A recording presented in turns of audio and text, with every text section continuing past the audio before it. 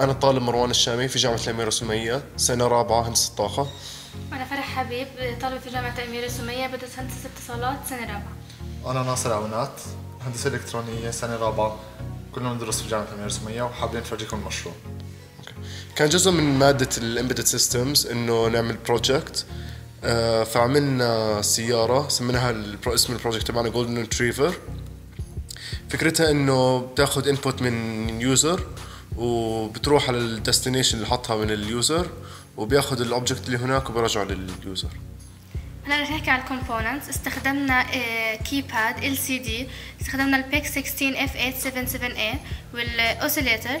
استخدمنا 2 DC motors و H bridge استخدمنا stepper motor وال وال driver تبعه. واستخدمنا 3 3 IR sensors for line following هلا آه، ال user بدخل ال input على ال keypad آه، ال PIC تبعت command لل H bridge بحيث إنه ال DC motors يتحركوا.